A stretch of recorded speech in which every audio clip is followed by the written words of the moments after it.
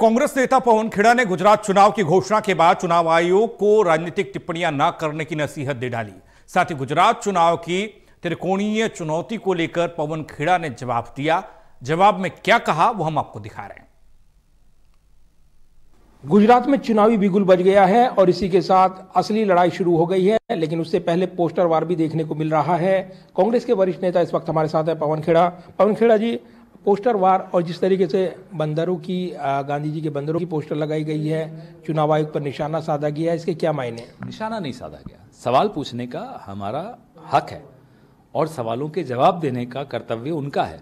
कोई भी संस्था लो, लोकतंत्र में सवालों से नहीं बचना चाहिए उसको जवाब देने चाहिए। कोई निशाना किसी पर नहीं साध रहा कोई किसी पर हमला नहीं बोल रहा। सवाल पूछ रहे हैं और सवाल जायज़ हैं। आज सवाल पूछे गए थे चुनाव आयोग ने साफ़ कर दिया कि स्वतंत्र निष्पक्ष और पारदर्शी चुनाव सुनिश्चित किए जाएँगे और इसी के साथ उन्होंने ये भी कहा कि ये सवाल उठाए जाते हैं। जब ईवीएम उनके फेवर में निर्णय सुनाती हैं तब ईवीएम सही होती हैं। इसके अलावा उन्होंने ये भी कहा कि थर्ड अंपायर का ऑप्शन उनके पास नहीं है। इस तरह की राजनीतिक बयानबाजी से बचना चाहिए चुनाव आयोग को। सवाल पूछें उसके जवाब दीजिए। हम तो पूरी उम्मीद करते हैं आपसे हमें आशा है कि निष्पक्ष रहेंगे आप। चुनाव की तिथि घोषित करते वक्त निष्पक्षता नहीं दिखी। हिमाचल की तिथि आपने घोषित की, उसके बाद 20-25 दिन का समय आपने प्रधानमंत्री को दिया कि वो गुजरात में जाएँ अलग अलग कार्यक्रम करें, सरकारी खर्चे पर राजनीतिक कार्यक्रम करते रहें। यहाँ तक कि मोरबी दुखांतिका का राजकीय शोक भी तीन दिन बाद किया गया दुखांतिका के। ये तो स्थिति है।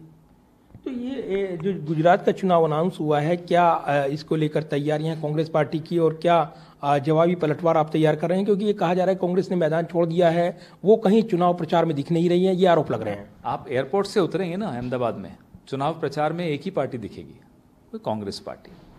पोस्टर सबसे ज़्यादा कांग्रेस के ही दिखेंगे। तो जो आपको ये कह रहा है, या तो वो किसी पार्टी से जुड़ा हुआ है, या वो कोई विज्ञापन एजेंसी है जिसको हमने काम नहीं दिया होगा आम आदमी और भी बीजेपी के पास पैसा बहुत है।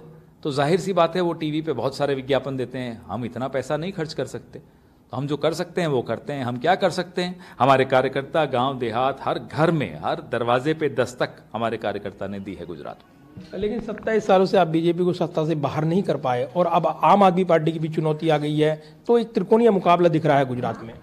गुजरात में मुकाबला सीधे सीधे बीजेपी और कांग्रेस के बीच में है।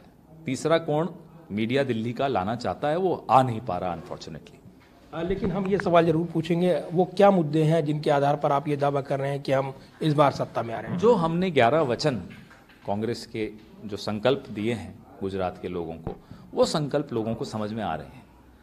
वो बेरोजगारी भत्ते का संकल्प हो 300 यूनिट बिजली फ्री करने का संकल्प हो गैस सिलेंडर पाँच सौ रुपये देने का संकल्प हो या ठेकेदारी प्रथा समाप्त करने का संकल्प हो, ऐसे तमाम संकल्प लोगों को समझ में आ रहे हैं, लोगों को लगता है कि इस पार्टी ने सही मुद्दे उठाए हैं। धन्यवाद बात करने के लिए। और गुजरात में चुनावी बिगुल बच गया है और इसी के साथ मुकाबला भी असली शुरू हो गया है।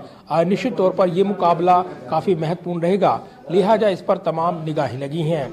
कैमरामैन विदर्भ के साथ प्रदीप कुमार टोटल न्यूज़ दिल्ली।